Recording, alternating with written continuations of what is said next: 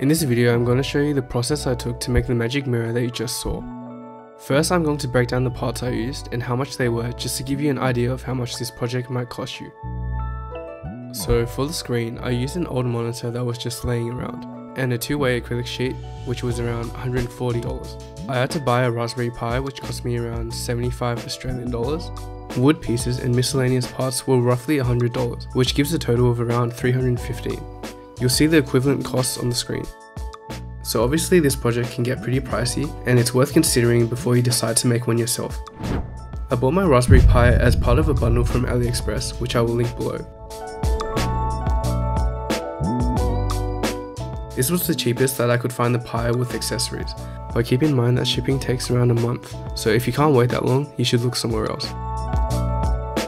It came with a heatsink, a fan, an SD card, although I'd recommend you use a more reliable one, and most importantly, a case.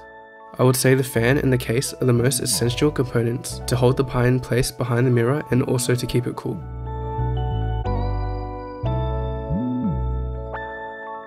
Okay, so I'm going to break down the process in the order that I followed. The first thing I did was take the monitor apart. It may be hard to find specific guides for your exact monitor, but they're generally pretty similar. If you're having trouble, you can search for a breakdown guide for a monitor of the same brand. The main goal is just to take the core components out from the casing, and arrange everything in the slimmest profile possible. You'll most likely need to unplug cables and reconnect them at the end. Make sure you keep the power button and the monitor control buttons, so you'll still be able to control the screen settings. Once I removed all the components, I taped them to the back of the monitor and reconnected all the cables. The next step was setting up the software. I followed a really good guide on Howchoo, which I'll link below. It was helpful but it's a bit outdated, specifically for the section about installing an interface. This didn't work for me, so I had to go to the official Magic Mirror website and copy that code instead. If you're a newbie like me, setting up the configuration of the mirror will take a while to get used to. But basically how it works is that you connect to your Raspberry Pi through your network and edit all the settings and configurations from your main computer without having to plug a monitor and keyboard into the Pi itself. Different modules can be installed as well and you can toggle everything to your own liking. I would recommend installing a module called Remote Control, which allows you to easily control the appearance and settings all from your phone. After I had set up all the software, I hooked up my Pi to my monitor and made sure everything was in the right place on the screen. After this is when my two-way acrylic sheet arrived. Acrylic does an okay job as a mirror, but if your measurements aren't perfect, you'll end up with lots of warping as you can see, which is not ideal for a mirror. I would highly recommend spending the money on real two-way glass. It's expensive, but it will look a lot better in the final product. At this stage, I started to make the mirror frame according to the measurements of my acrylic sheet. I made the frame a little bit smaller so the sheet could rest behind it and stay in place.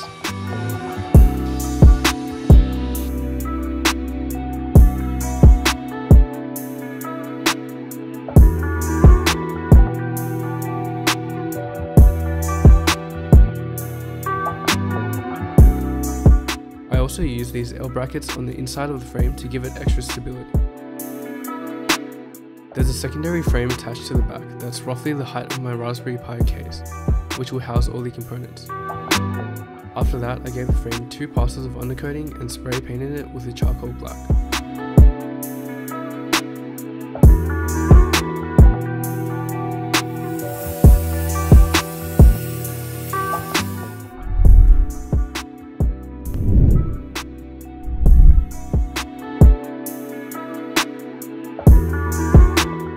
Assembling the mirror was my favourite part.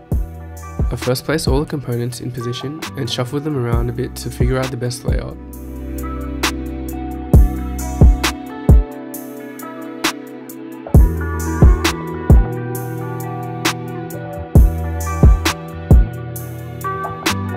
And I gave the mirror a clean and locked down the monitor in place with two L brackets.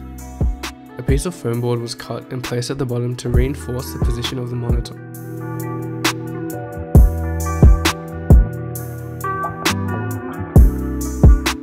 also want to make sure to cover up any exposed part of the mirror pane with black paper or foam so that no light can leak through.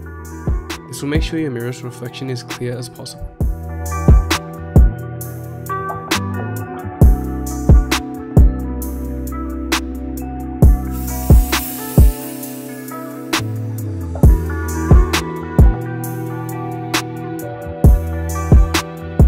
Finally, I have another piece of foam board on the back of the frame to cover everything up and uh, a hook drilled into it so it can be hung up.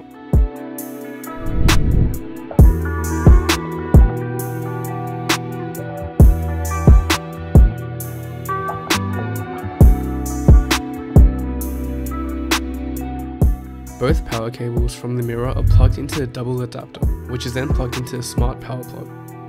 I've set up the power plug to turn on only on days when I have classes, and it also turns off at 11pm on all these days as well. If you do set up a schedule like this, it would be good to also schedule a shutdown on the Pi at an earlier time before the smart plug turns off. This would avoid corrupting the system files with an abrupt power off. There's a guide online to scheduling shutdowns on the Pi, and I personally have a script that shuts down the Pi every day at 10.30pm.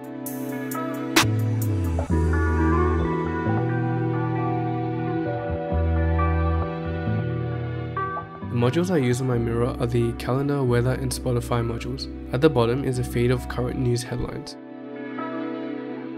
I'll link all the modules that I use down below. Thanks for watching guys, if you like the video please give it a thumbs up or even a sub. Any questions, leave them in the comments and I'll try my best to answer them.